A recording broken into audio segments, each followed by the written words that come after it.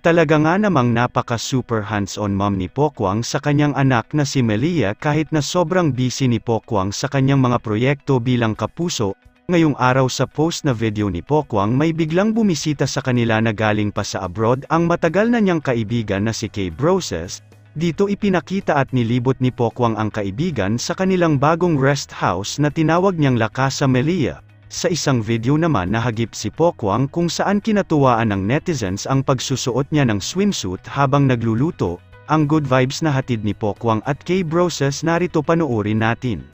Bumisita po sa amin. Galing pa po abroad.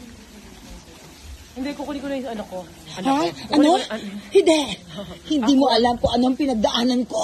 Ako ang tunay mong ina. Charot. Ina mo! Hindi naman siya marunong mag-ing mag-Tagalog.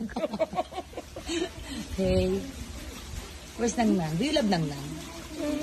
Ha? What? Can you kiss Nang Nang? Give Nang Nang kiss. Come on. Come on, give Nang Nang big hug, big hug. Come on. Big hug. Yeah. Nang-nang? We love Nang Nang na. I, want to see you, Mama.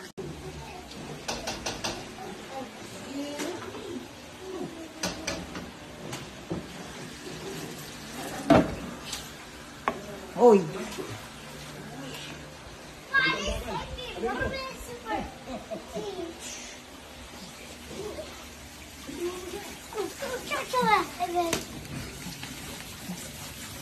Gutom ka na, Malia?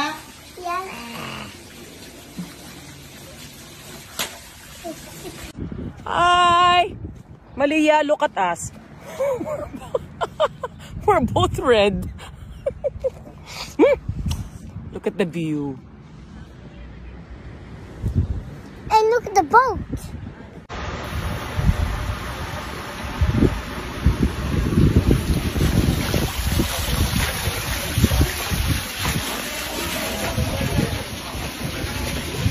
Hello, miss. Pina ka pa?